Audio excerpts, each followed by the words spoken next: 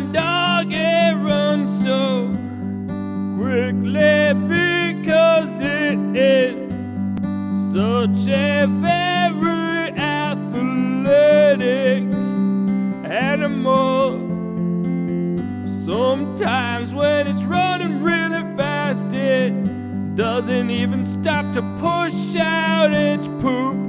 It just keeps on pooping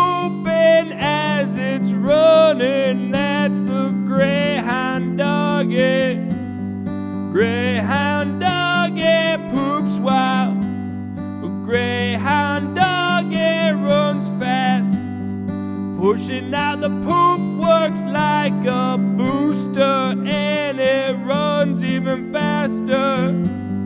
Greyhound doggy is a very fast doggy and it loves to run so fast. Oh, yeah, pushing out the poop to give himself a boost while he's running.